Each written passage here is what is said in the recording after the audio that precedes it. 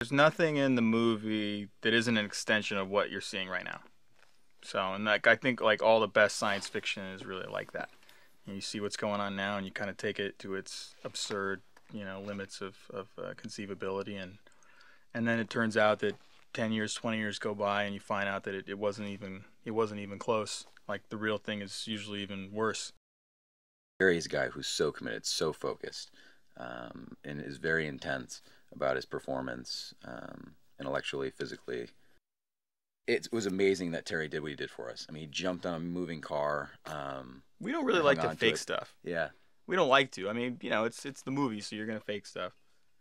Um, it's kind of the nature of the game. But i mean if we can actually get it to happen for real and just point the cameras at it i mean it just makes our job so easy. And i think it makes it like a more visceral and um, involving experience for an audience too there's a warmth about Chris that's amazing, and he's so grounded as a person, and that comes through with his character, who is kind of fighting the opposition and you know the government and Castle and control in general. Uh, so he was really the perfect uh, guy for us to be the leader of this group of humans.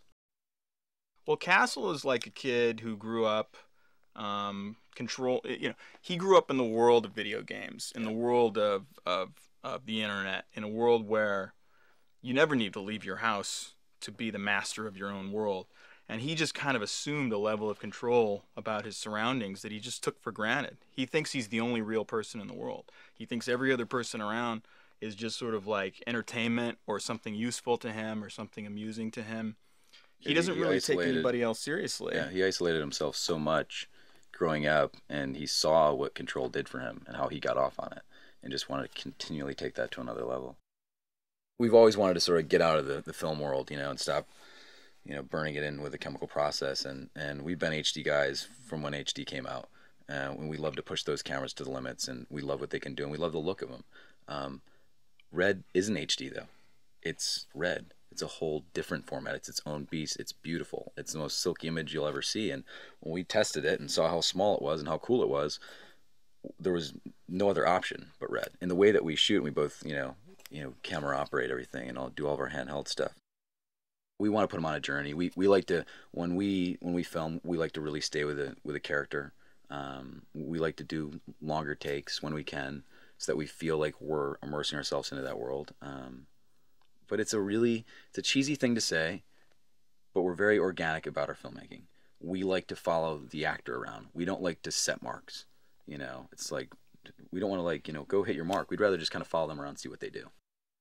one of the things that we try to do with the weapons in the movie is um, even though it's a science fiction movie it's set in the future we're not dealing with laser guns and, and we, you know crazy things that, that you couldn't possibly relate to um, we all we wanted all of our weapons to feel like something that was really usable that really worked um, and so the new weapons that we created for the movie were all sort of like extensions of things now um, and they're all really practical really usable. A lot of them are real